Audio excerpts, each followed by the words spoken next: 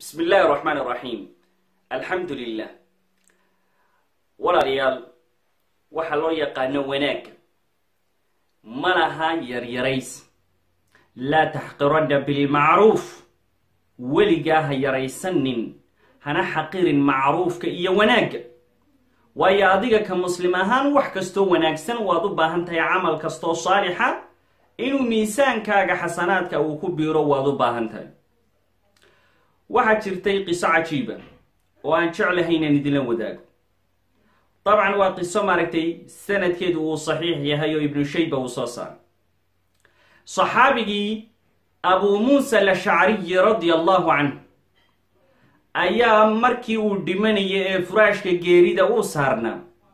Wuxuu la dardaarmay ubadkiisii iyo carruurtiisii wuxuuna ku dhahay yaa bunaya laa tansaw saaxiba arakiif carruurtaydiyay ha ilaawina ninkii wadaadka ahaa ee saaxiibkii roodhida ubadkiiba waxay dhaheen waman huwa saaxibu rakiif waa kuma ninkan rootiga ama saaxiibka roodhidu waayo.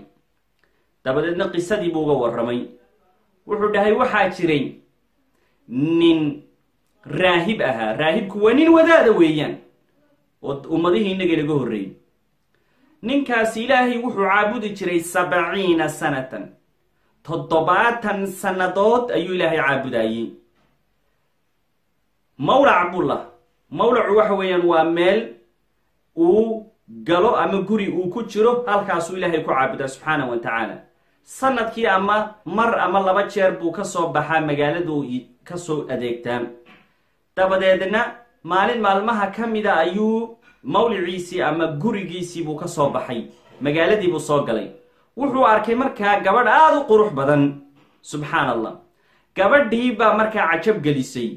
Kadibna gabadhii buu la tuntay zino ayuu la wadaagay.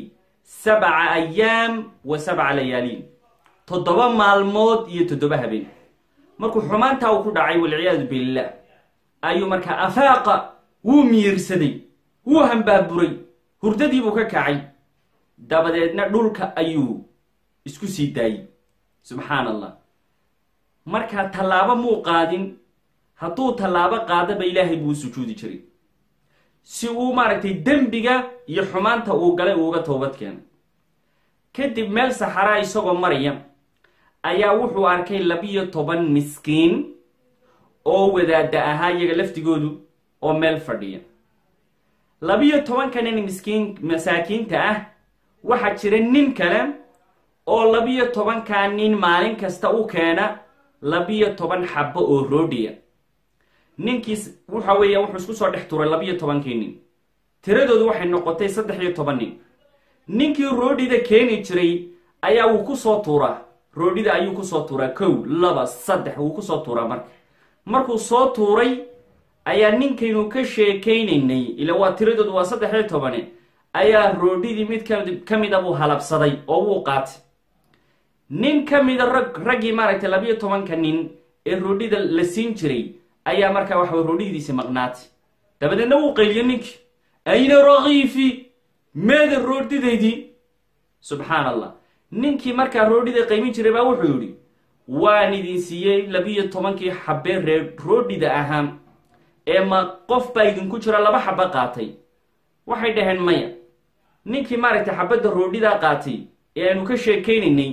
Markuu arkay ninkan raadacaynaya ama raadinaya roodhidiisii ayuu markaa ku tuuray roodhidiibuu u tuuray. Habeenkiibuu markaa ninkii uu seexday.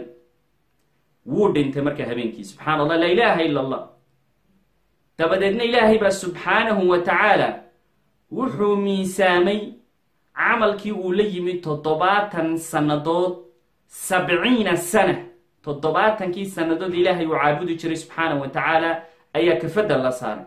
Waxaa kaloo kafadda la saaray toddoba habeen iyo toddobadii maalmood ee uu zinaystay walciyaadu billah. Waxaa xoog badatay toddobadii maalmood ee uu xaaraanta uu ku dhacay walciyaadu billah. Haddana mar kale waxaa la miisaamay toddobadii maalmood ee xumaanta uu ku dhacay iyo xabaddii roodhida ahayd waxa miisaankeedu uu culays batay xabaddii roodhida ahayd fa subxaana allah fanaja rajul ninkiina markaasuu badbaaday kumuu badbaadin camalkii ama cibaadadii sabciina sana toddobaatanka sannadood uu ilaahay wuxuu ku caabudayey wuxuu ku badbaaday xabad roodhiya. Fa subxaana allah idan laa taxqiranna bilmacruuf. Weligaa macruuf ha yaryaraysan. Sidoo kale dembi laftigiisana ha yaraysanin toddoba habeen oo keliya ayuu simbiriraxday waxay toddobadii habeen la tagtay. Camal uu qabanayay iyo cibaado uu markaa la imanayay sabciina sana toddobaatan sannadood. Waxaa kaloo nebigeenu inoo sheegay calayhi salaatu wasalaam gabadh ka mid ahayd baqiya min baqaaya bani israa'iil. Gabadh jidhkeeda ka ganacsata oo ka mid ahayd reer bani israa'iil ayaa way haraaday ceel bay markaa ku dhacday gabadhaas. Subxaan allah markay ceelkii ay ku dhacday ayaa biyihii bay soo cabtay. Markay ceelkii ka soo baxday ayaa waxay aragtay ey eygaas oo markaa isaguna haraadan oo haraadka iyo oonka haya awgeed uu cunayo maaragtay ciidda qoyan ee ceelka hareertiisa uu cunay. Markaa way fakerto waxay tidhi haraadka eygan hayaa waa kii adigaba ku hayay ceelkiibay dib ugu noqotay. Kabteedii ayay biyo ku soo qaaday eygiibay waraabisay. Fa shakara allahu laha fagafara laha. Ilaahay baa uga mahad celiyey waana u dembi dhaafay. Waayo gabadhaasi waa gabadh baqiya min baqaaya bani israa'iil. Waxay ahayd mid jidhkeeda ka ganacsata.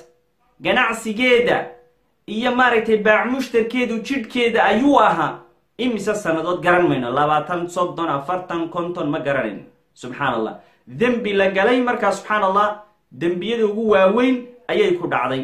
Ilaahay subxaana wa tacaala wuxuu ugu dembi dhaafay oo uu jannada ku geliyey. Ay ay markaa ay caawisay oo markaa ay subxaan allah ay waraabisay. Waxaa kaloo nabigeenu inoo sheegay calayhi salaatu wasalaam baynamaa rajulun nin baa markaa wuxuu soconay waddada ayuu soconay waddadii isagoo socda waxaa ka soo hor baxday gusna shajara yacnii caleen qodaxaysan ama qodax waddada taal. Qodaxdii ayuu waddada ka leexiyey. Fa shakara allahu lahu fagafara lahu.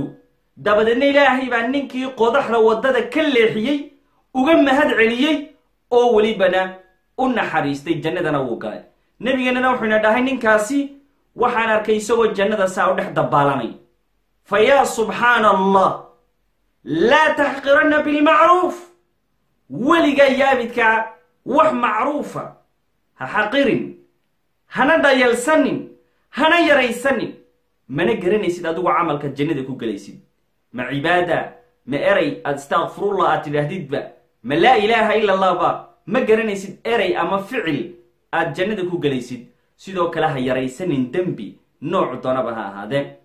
Sidaa awgeed buu nabigeena wuxuu inoo sheegay calayhi salaatu wasalaam ina arajula layatakallamu kalimatan min ridwaan illah ninku ama qofku wuxuu ku hadlaa mararka qaarkood eray. Ka mid ah erayada ilaahay uu raallida kaga noqdo dadka uu kaga noqdo ilaahay. Laa yadunnu annaha tabluqu maa balagat fayakunu lahu ridaa ilaa yowmi yalqaah qofka ku hadlay ereygani uma malaynayo in ereygani uu gaadhayo meeshuu gaadhay. Subxaan allah dabadeedna wuxuu helayaa shakhsigaasi raalli ahaanshaha ilaahay ilamaa maalinta qiyaamo uu ilaahay kala kulmaayo wa ina arajula layatakallamu kalimatan min sakhati illah qofku wuxuu ku hadlaa ama ku hadli karaa erey ka mida erayada ilaahay uu ka cadhoodo laa yadunnu annaha tabluqu maa balagat oo aanu u malaynin ama aanu filanaynin inay ereygaasi uu gaadhayo meesha uu gaadhay. Fa yakuuna lahu sakhtu ilaa yowmi yalqaah. Markaasaa cadho iyo ciqaab iyo maaragtay cadhadii ilaahay ay dushiisa ahaanaysaa ilaa inta uu ilaahay uu kala kulmayo idan waxa weeyaan ha xaqirin eray iyo ficil bani aadam ka soo baxay oo camal wanaagsana hana xaqirin oo ha yaraysanin oo ha dhayalsanin.